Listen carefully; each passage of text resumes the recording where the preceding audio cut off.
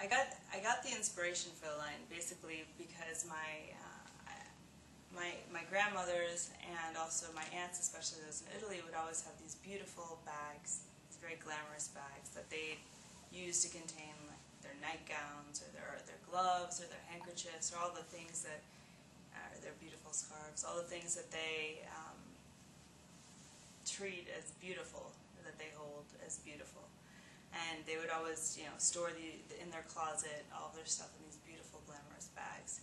So I wanted to take this concept, but also add functionality, because now in the modern day of, of traveling and just, you know, our lives, you need something a little bit more. You need maybe more compartments, or maybe um, a bag with water-resistant lining, something a little bit more sturdy.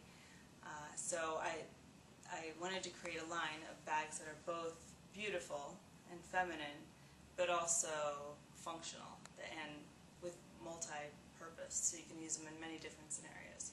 So this is the original bag that I created, and um, this was the very first model.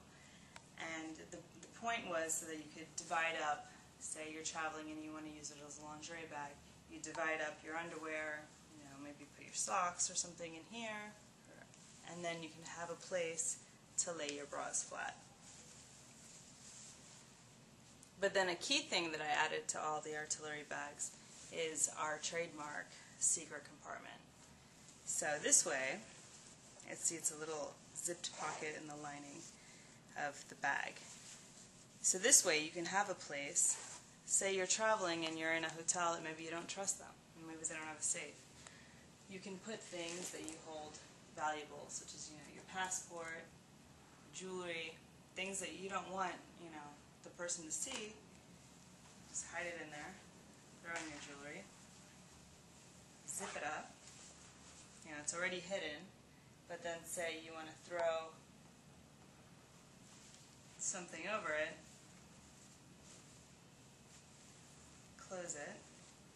This particular, particular bag is called the Goddess, and it has uh, magnetic closure, which is perfect for things with lace that you don't want to get caught in a zipper. But so that way, you know, it's it's out of the view of everyone. And say it's uh, it's something that you don't necessarily even want your travel companions to know you have. You have extra money or something you want to hide it away. You have a, a great place to do it. Um, another consideration was oftentimes if you travel for work or maybe you're traveling in, in not the best circumstances. Um, I'm an attorney, so I would always I would travel often for work, and I'd go to hotels, which maybe are not the most glamorous places to be and uh, you have very long days and you're working long hours and it's very uh, intense. It's nice to come back to your hotel room and to open the drawer and see something beautiful. You know, it's, it's like a little jewel. It's like a little present to yourself every time you see it.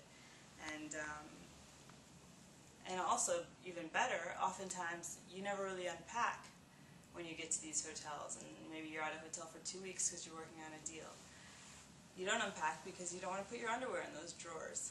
You know, it's gross. So you're always kind of unsettled. You don't really feel comfortable. This way, you put all your precious things in here, throw this thing in the drawer, and you're safe because you can wash it later.